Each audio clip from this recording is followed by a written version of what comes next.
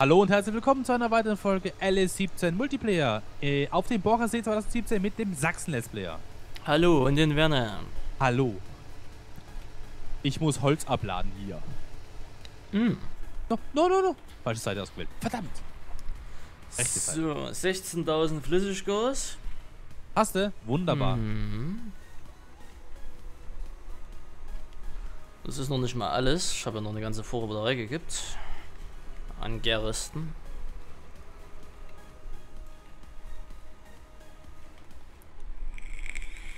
Start. Läuft. Okay. Also die zwei Sägewerke sind fast ganz voll. Hm. Mit Holz. Sehr gut. Arbeiter sind auch, aus, auch äh, ausreichend da. Heißt, äh, bisschen Flüssiggas und dann läuft die ganze Sache hier. Hm.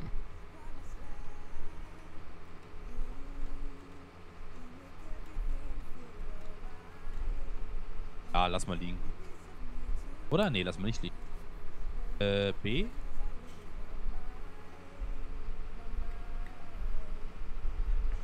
So, Randy, ich würde... Haben wir einen Traktor frei? Hm, wir haben noch einen. Also ja, Okay. ich bin ja mit dem LKW unterwegs. Dann würde ich vielleicht noch ein bisschen Gras mähen gehen, weil ich habe gesehen, Feld 9 ist schön saftig reif. Alles klar. Ist das in der Nähe von der BGR? Bisschen in der Nähe von einem Sägewerk. Ja. Ach, vergiss es. Ich hab's verstanden. Du hast ja gesagt, du willst ein bisschen Holz sägen, oder? Nee, mähen. Abmähen. Gras. Krass. Warum in der Nähe vom Sägewerk? Das Feld gehört uns. Achso, ja gut, ja, ist halt ein weiterer Weg. Sonst hätte ich halt wieder Ja. kurz das 36er gemietet, oder gut? Okay, ist okay. Äh, wo bin ich denn hier? Ach, ganz oben. Ja, wer hätte es gedacht.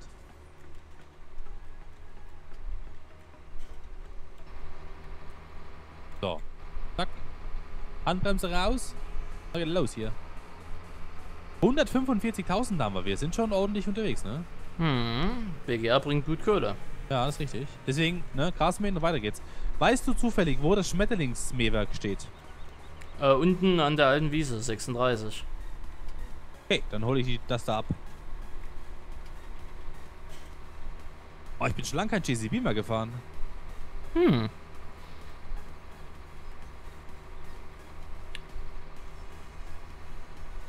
Boah, der ist fast voll. Der ist fast leer. Was habt ihr denn gemacht mit dem? keine Ahnung. Achso. Hm, Keine Ahnung. Ganz ehrlich. also, das war ich nicht, aber ich Kann sein, dass der vielleicht mal an war, wo wir mal vorgespult haben. Ah, jo, das könnte einiges erklären.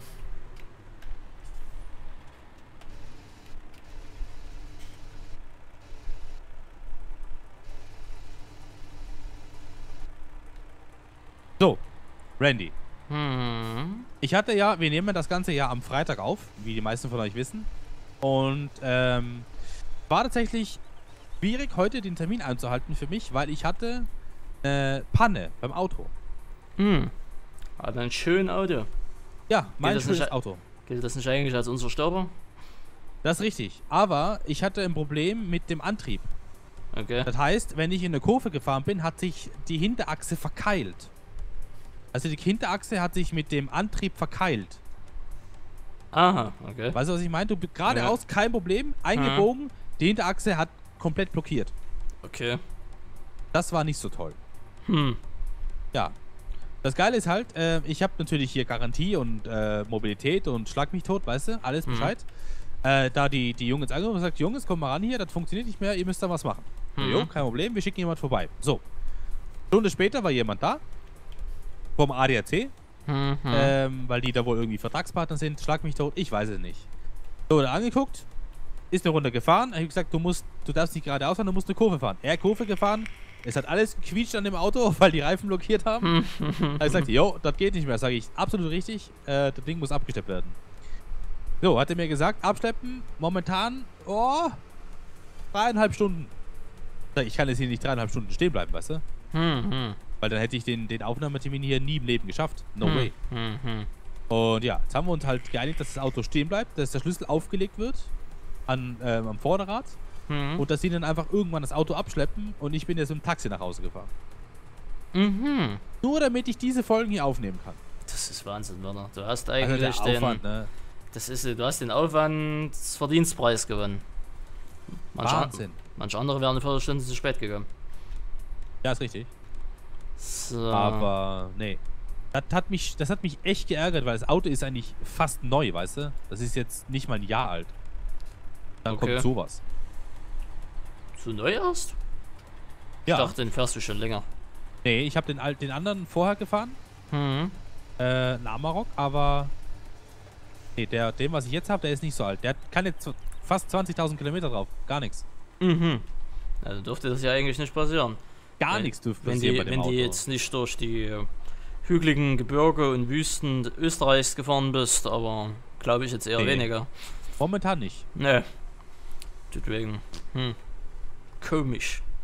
Sehr komisch. Sehr, sehr komisch. Auf ja. alle Fälle, jetzt überlegt, ich habe mir gedacht, ich habe es jetzt noch gut, weißt du? Ich habe das Ding jetzt irgendwo abgestellt, ich hab, bin nach Hause gefahren, erledigt, weißt du? Der Hm. Typ wird mich irgendwann jetzt im Laufe der Aufnahme anrufen und sagen, ich habe dein Fahrzeug abgeschleppt. Ich Hm. werde sagen, alles klar, danke dafür. Und ähm, das war's. Aber jetzt stell dir mal vor, du bist unterwegs mit einer Familie, du hast ein, weiß ich nicht, ein Kind, ein Baby, irgendwas. Du musst drei Stunden oder vier Stunden auf einen Abschlepper warten. Mhm. Sehr angenehm. Also doch niemanden zumuten, oder? Äh, die Straße auch nicht. Alles geht. Äh, wo muss ich denn jetzt hier hin? Hauptstraße? Ja, ich fahre die Straße. Ja, da habe ich mir schon gedacht, ne? Also, also für mich war ja schon eine Dreiviertelstunde warten, war ja schon Mhm. Grenze. Weil ich bin, weiß ich, ob vielleicht ist das auf YouTube bedacht, ähm, ich schon, ich habe mir gedacht, bei, bei 45 Minuten warten, ne? Mhm. Hätte ich wieder drei Folgen von irgendwas produziert. Das ist richtig, das ist richtig. Ja, das ist, du denkst immer in diesen 15 Minuten Schritten. Das ist richtig. Hm. Aber trotzdem so lange warten, obwohl du überall Mitglied bist, Ja, eigentlich bevorzugt werden müsstest. Also Ja. wenn, du, wenn du sowas hast, keine Ahnung. das juckt die halt nicht. Also du bist Mitglied, da du bekommst, da wird jeden Monat irgendwie der Betrag X abgezogen von deinem Konto, weil du Mhm. ja Mitglied bist, ne? Und du bekommst auch immer ein Käffchen, wenn du da bist und so weiter, aber wenn es mal wirklich drauf ankommt, gut, ich muss sagen, es war Freitagabend. Es Mhm. war, wie spät war's? 18.30 19 Uhr? Ja, kurz vor So in 19 dem Dreh? ja, Richtig. Weiß ich jetzt nicht, ob der jetzt noch so viel los ist, aber der muss, da muss doch irgendwie ein Notbetrieb oder sowas da sein. Ja, Ähm. eigentlich schon. Du kannst die ja 24-7 anrufen. Ja, aber ich kann doch nicht, ich kann doch nicht, wenn ich jetzt, ich stell dir mal vor, ich stehe auf der Autobahn und habe eine Panne. Ich kann doch Mhm. nicht drei Stunden auf der Autobahn stehen, das geht doch nicht. Nee. Vorher kommt die Polizei angerückt Ja, und sagt, du sollst dich da mal bitte. Ja, aber weißt du, du kannst nichts tun, du bist auf die Leute angewiesen. Das ist richtig, das ist richtig. Das ist das, was ich nicht verstanden habe. Wenn Und er die- jetzt sagt, okay, Und auf gut, die. eine Stunde, ja, okay. Hm. Na gut, auf die Gefahr hin, halt einfach noch bis Heim zu fahren. Wenn dann was kaputt geht, ist es halt Garantiefall mehr, ne? Das habe ich gefragt tatsächlich. Ich habe gesagt, kann ich, weil Grad ist ja okay. Also Hm. es geht wirklich nur nicht, wenn du 90 Grad rechts und links einschlägst, geht's nicht. Hm, hm, So, ich kenne die Strecke nach Hause zu mir. Ich habe gesagt, ich könnte nach Hause kommen. hm, Nachher sagt er so, ja, aber da können Sie keine Garantie für übernehmen. Ich gesagt, alles klar, dann lasse ich ihn stehen. hm. Dann kommt hm, er mit dem LKW, weißt du? Ist auch kein Problem für mich. hm, hm. Wenn er gesagt hätte, yo, fahr zu uns, weißt du, von der Stelle zu, äh, von mir bis zur Werkstatt wären es, glaube ich, fünf Kilometer gewesen. Mhm. Hätte ich fahren können. Hm, hm. Aber ich habe mir dann gedacht, wo er zu mir gesagt hat am Telefon, wenn irgendwas ist, sind sie selber schuld, da übernimmt keine Versicherung, gar nichts. Ich habe mir gedacht, weißt du was? Lass mich in Ruhe, Hm. hol das Auto ab und fertig. Hm, hm. Weil, nee. Äh, wo steht das jetzt hier? Ist mitten jetzt in der Pampa oder Das steht auf dem Privatparkplatz momentan. auf dem Privatparkplatz? Ja, ja. Das ist, das kann auch die ganze Nacht da stehen bleiben. Weißt du, das juckt mich nicht. Ich habe ja noch andere äh, Autos, mit denen ich fahren kann, ist ja kein Problem. Also nicht meine, sondern Hm. ich habe halt was, wo ich fahren kann. Ähm, aber das hat halt nicht jeder, weißt du? Nicht jeder hat jetzt noch Hm. äh, irgendwie Möglichkeiten, dass er jetzt noch ein anderes Auto hat. Hm, Ja. Das ist richtig. Nee, ne, mir, mir wäre es jetzt eher so gegangen, ja, wenn der Schlüssel dort irgendwo versteckt ist, ne, ich weiß ja nicht, ne, dass da mal einer kommt und guckt und ach, guck an, was haben wir denn hier? Nehmen wir mit. Ja, nein, nein. So Das ist bei uns nicht so die Gefahr. Ach Nee. Hm. Also bei uns ist wirklich, also bei uns wird das sehr häufig gemacht. Wenn du Hm. irgendwo ein Fahrzeug abstellst und sagst, yo, ich habe den Schlüssel, der liegt, weiß ich nicht, am, Rück am Hinterrad oder am Vorderrad hm, oder hier in dieser Klappe oder im, im Tankdeckel oder weißt du, irgendwas halt. Hm, hm, hm. Das ist, Ja, gut. das ist nicht, nichts Ungewöhnliches, sag ich mal. Gut, fällt dir auch ein bisschen auf, wenn da einer mit Fremder an einem Rad rumguckt Ja, oder rumfummelt. ich habe jetzt auch noch niemanden gesehen, der explizit ans Vorderrad rangegangen ist und guckt hat, ob ein Schlüssel liegt, weißt du? Nö. Und selbst dann, geradeaus Ja. kommt er. Ja, weil es ist, äh, In der Kurve fällt's dann auf. in der Kurve bleibt er stehen und läuft weg, weißt du, also. Ja, ja, weiß auch nicht. Das war, da hat mich schon, äh, ja. Ist schon mal kacke, wenn dein Auto nicht funktioniert, ist schon mal Nummer eins, da denkst du dir, oh, nee, kann nicht sein. Dann erzählt dir der Typ noch, du musst drei Stunden warten auf einen Abschlepper, weißt du? Äh, das Hm. ist, äh, nee. Das ist Sacke.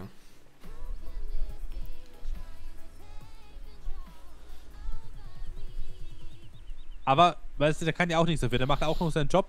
Der sieht, okay, der LKW-Fahrer hat jetzt noch drei, vier Autos vor mir, die halt vor mir eine Panne hatten. Äh, und arbeitet sie einfach ab.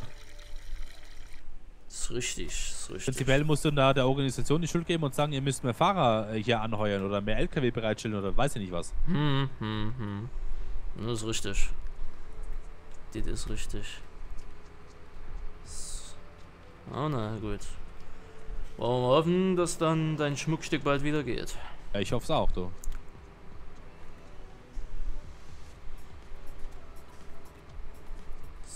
So.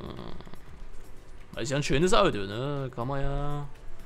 Kann, kann man ja nicht rummeckern. Klick würde es auch haben. Ne, ich glaube, Klick wollte den, den es bei uns noch gar nicht gibt. Welchen denn? Äh, den gibt es noch im Amiland. Äh, Raptor? ja, genau, genau. Ja, Raptor ist halt noch eine, eine Spur mehr. Hm, hm. Ich habe tatsächlich bei mir schon den Raptor-Grill verbaut. Mhm. Den okay. hast du so dazu bestellen können. Habe ich direkt genommen, weil es sieht einfach geil aus. Das ist richtig, ja. Aber den gibt's noch hier nicht. Das wäre halt auch ein geiles Ding. Weiß gar nicht, ob es den für hier gibt mit diesen Abgaswerten. Mm, yeah. Ich glaube nicht, dass er. Na wohl, er hatte irgendwas gesagt. Ich glaube, irgendwo hieß es, dass der auch für Europa kommen soll, halt in einer anderen Ah, okay. Version, aber hm. Ich ich. warte ja immer noch ganz hart auf das Mercedes-Modell. Pickup. also? Ja, die, die X-Serie, glaube ich, ist das von Mercedes. Die bauen Mhm. ja auch jetzt so ein Pickup. Okay. Wer weiß, was der wieder kostet. Der kostet ein Vermögen wahrscheinlich. Hm. Das ist doch hier, äh, wie hieß denn die- G, ne, Mercedes hat doch eine G-Klasse, oder? Die, Ja. Diesen, diesen 6x6er oder was das dafür einer ist, den der nochmal hatte. Äh, ja, ja, dieser, dieser 4x4 hoch 2. Oder 4x4 hoch 2, ja, genau, Ja. genau. Das ist ja auch so ein Geländeding, jenseits von Gut und Böse. Er hat ja auch Ja. Leistung unterm Arsch, aber ich glaube, der, war ja, Richtig, ja. der hat ja auch gekostet, wie, ja, hör mir auf. E-Klasse ist auch eine geile Sache, ja. Ja gut, aber nicht so geländefähig wie, wie jetzt die Dinger von Ford, ne? Weil die Dinger sind ja nur hoch. Ne, also Das der Raptor, hoch, ja. ne, der Raptor und Co. Ne, da kam, kommt die G-Klasse, die liegt ja noch relativ unten.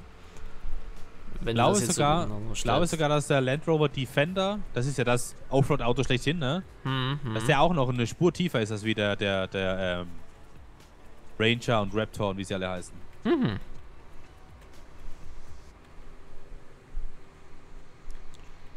So, wo haben wir es denn hier? Läufst du noch? Läufst, Läufst du noch oder stehst du schon? Mhm.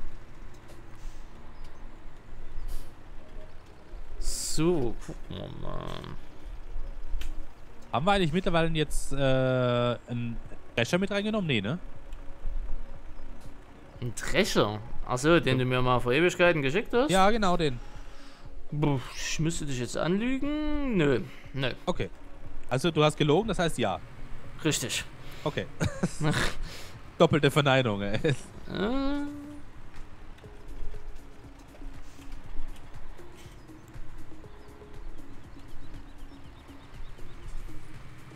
Was heißt denn Arbeitsmode?